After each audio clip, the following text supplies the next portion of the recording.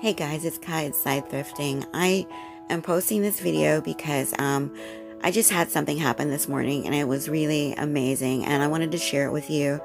I've gathered myself up since the event, but this was the authentic uh, feeling I had after it, so listen up. Reseller organization system I'm, I've developed and um, I have my, my little one just testing it out. I couldn't find one soul to test this out. So anyhow, she she's testing it for me, and she put she organized her clothes the way um, the the system suggests, and she came to me this morning, and she said, "Mom, your system doesn't work well." But I know her humor. She was saving up to say something funny. She's like, your, your system doesn't work well. She's like, it works excellent. It, I, it took me a while to realize what she said because I was too busy trying to get her to school.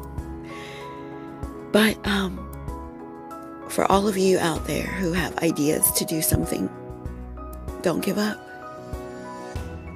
Don't give up.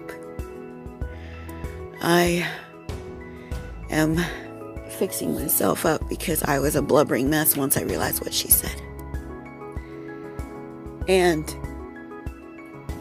and they do not want me to leave. They do not want me to excel. I'm perfect there because when they need to call upon me, they can I'm there because that's where I am and but you know, obviously vice versa. If I need them, they're not there. So this is not a rant about you know, bad friends or family. This is about this is about you and just know that there's going to be one person out there to validate what you're doing and and to give you support and to just give you that little push you need to stay stay the course.